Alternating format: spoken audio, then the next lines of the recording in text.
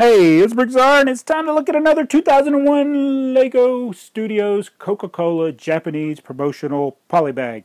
The name is longer than it takes me to build the, the, the minifigure. So anyway, this time we're looking at 4061. This is a sealed polybag from 2001. There's the little writing that I can't read on the back, but is from 2001. Alright, and these were in conjunction with the LEGO Studios theme. We're going through all 24. And we are up to number 6. And this, uh oh that hurt. This is the assistant.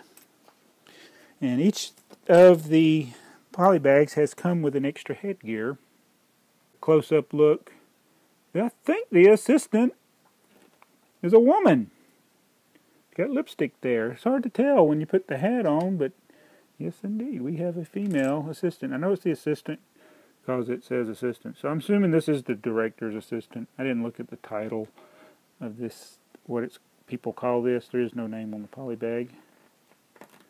But she is the director's assistant, soon to replace him.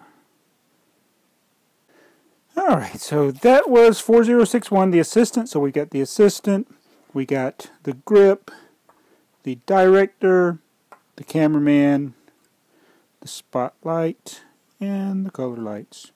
So we're getting a cast here and crew, or we actually we're getting a crew, not a cast. And so what are we leading up to? Stay tuned to see what other Lego Studio polybag I have coming.